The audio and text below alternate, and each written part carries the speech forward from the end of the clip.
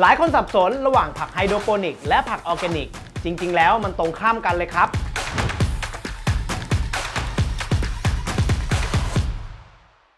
ทีนี้ไฮโดรโปนิกนี่คือผักที่ปลูกโดยการไม่ใช้ดินนะครับ เช่นการใช้สารละลายนะครับในการให้อาหาร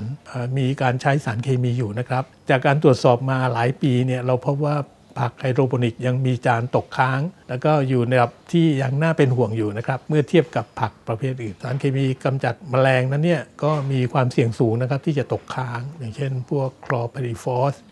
ซึ่งประเทศไทยยกเลิกไปแล้วนะครับไซเปอร์เมตรินเป็นต้นนะครับ ทีนี้มันจะมีสารอีกกลุ่มอื่นนะครับ อย่างเช่นสารฆ่าเชื้อรา ยิ่งการปลูกพืชประเภทไฮโดรโปนิกเนี่ยมีเราพบมีการใช้สาร ฆ่าเชื้อรานะครับมันปลูกในเช่นโรงเรือนเป็นต้นมีความชื้นสูงนะครับวิธีการที่ดีสุดก็คือ ดูเรื่องการระบบการรับรองเนี่ยเป็นสำคัญครับสรุปง่ายๆนะครับ ผักไฮโดรโปนิกยังมีการใช้สารเคมีในกระบวนการปลูกอยู่นะครับ เราต้องใส่ใจอ่านฉลาก เพื่อดูระบบการรับรองก่อนเพื่อความปลอดภัยสักนิดนะครับ แล้วเจอกันใหม่